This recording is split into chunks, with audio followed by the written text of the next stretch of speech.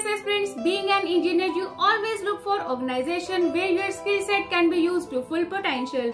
और defense forces आपको opportunity देती है to work on same advanced technology which is not might be available for commercial purpose. इस video में हम जानेंगे आप कैसे स्पेसिफिकली इंडियन एयरफोर्स में अपना career as a technical officer बना सकते हैं?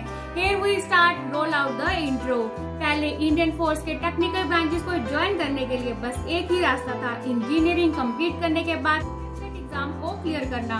और आज आप 10 प्लस टू कंप्लीट करने के बाद नेशनल डिफेंस एकेडमी की एयरफोर्स विंग में ग्राउंड ड्यूटी टेक्निकल ब्रांच के लिए अप्लाई कर सकते हो। बैचलर कंप्लीट करने के बाद आपके पास एफ़ कैट एंट्री का ऑप्शन आज भी अवेलेबल है। इंडियन एयरफोर्स की टेक्निकल ब्रांचेस के दो ही ब्रांच हैं। Aeronautical engineering electronics and aeronautical engineering mechanic ये थी सारी जानकारी। अगर आप टेंथ टेन प्लस टू के बेसिस पे डिफेंस को ज्वाइन करना चाहते हैं पर्सनालिटी डेवलपमेंट चाहते हैं स्टेज फियर को दूर करना चाहते हैं तो आप हमारी हेल्पलाइन नंबर पर कॉल करके पूछ सकते हैं। थैंक यू सो मच जय हिंद, जय भारत।